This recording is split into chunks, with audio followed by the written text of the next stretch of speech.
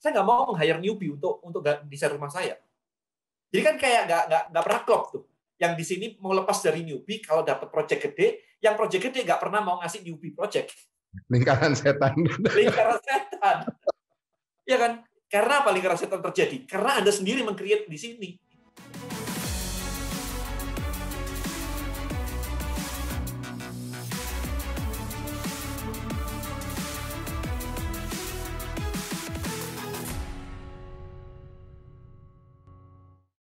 Salah aku pernah lihat di IG-nya Koko itu ngomong tentang newbie. Ada yang ngomong tentang newbie, terus Koko bilang itu kan kayak kamu memprogram dirimu itu.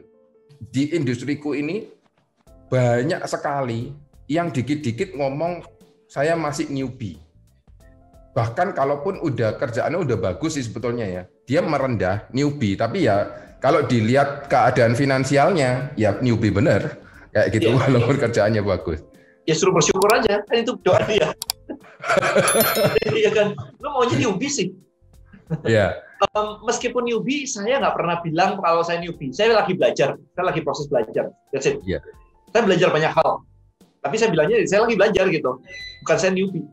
Ya, um, Indonesia itu terlalu sering merendah gitu ya. Tapi kebablasan. Iya kan? Jadi ketika disuruh kasih harga pun harganya direndahin. Ya. Bikin harus merendah gitu loh. Merasa bersalah kalau jual mahal.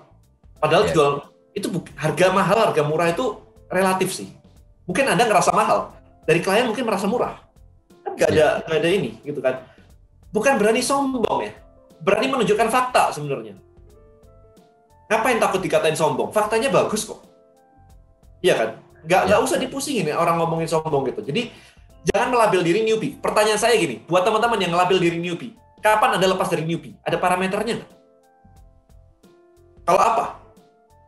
Kalau apa Anda lepas dari newbie? Kalau duitnya udah banyak. Tapi masalahnya orang orang duitnya banyak, berarti kliennya banyak. Sementara kliennya banyak, nggak mau meng-hire newbie. Gimana coba? Misalnya nih, saya bangun rumah kayak begini nih. 500 juta gambar misalkan ya, kayak gini. Yeah. Saya nggak mau meng-hire newbie untuk untuk desain rumah saya. Jadi kan kayak nggak nggak nggak pernah klop tuh yang di sini mau lepas dari newbie kalau dapat project gede, yang project gede nggak pernah mau ngasih newbie project. Lingkaran setan. lingkaran setan. ya kan? Karena apa lingkaran setan terjadi? Karena Anda sendiri meng-create di sini. Benar nggak? Ya, akhirnya uh, law of attraction kok ya. Yang datang juga orang-orang yang mau memanfaatkan newbie. Yes. memanfaatkan, bener. Tapi make sense kan? kan kalau kita mikirnya kita pemula terus kita nggak nggak layak dapat yang proyek besar gitu ya, ya. itu kan baik lagi kayak law of attraction ujung-ujungnya uh, itu akan tertuang di gambarnya kita dan otomatis kan saya kayak uh, kemudian kita publish di IG akhirnya juga kelasnya juga kelas rendah kalau kelas rendah otomatis yang datang juga orang-orang yang cuma ya yang sama kelasnya juga kan kayak gitu. Atau lewat, atau lewat ya. Um, gini, Kenapa sih sebenarnya sebelum makan kita disuruh doa dulu? Bukan bersyukur doang loh. Ternyata ada sainsnya. Pernah tahu the power of water nggak? Tahu. Masaru Emoto? Ya, tahu. Kalau air dikasih kata-kata kasar uh, di apa di pokoknya dikasarin begitu ya. partikelnya jadi jelek.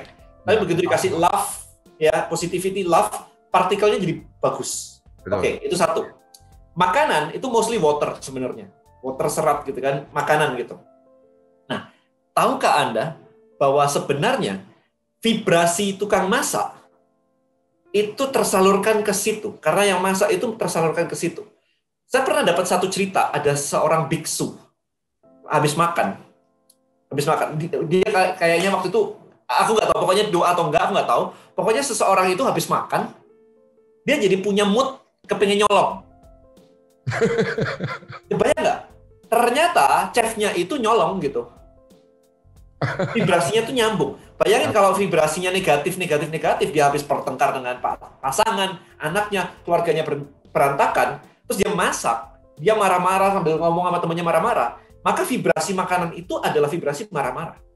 Maka dari itu, karena kita terima makanan dari orang asing, maka kita berdoa, bukan cuma bersyukur, tapi mengcleansing supaya ini jadi positif ketika masuk menyehatkan badan kita. So that's the science behind it. Gitu. Nah, sekarang gambar Anda gambar apa? Vibrasi apa yang Anda tuangkan di situ? Uh, ini bakal keren banget, mahal banget atau apa pun atau ah ini murahan, cheap dan sebagainya. It's the same thing. Vibrasinya klien akan ngerasa kok itu nanti. Nggak bisa diomongin tapi kerasa aja. Betul, betul sekali. Itu. Jadi karena kalau kita gambar kayak bikin 3D itu itu memang benar-benar tergantung mood sih kok. Kalau moodnya kita ancur ya, most likely juga hasilnya ancur kayak yeah. gitu. If you love this video and brought value to you, please share, like, subscribe to the channel and tag your friends and leave a comment. And my name is Ronaldo from 2G Studio and I'll see you on the other video.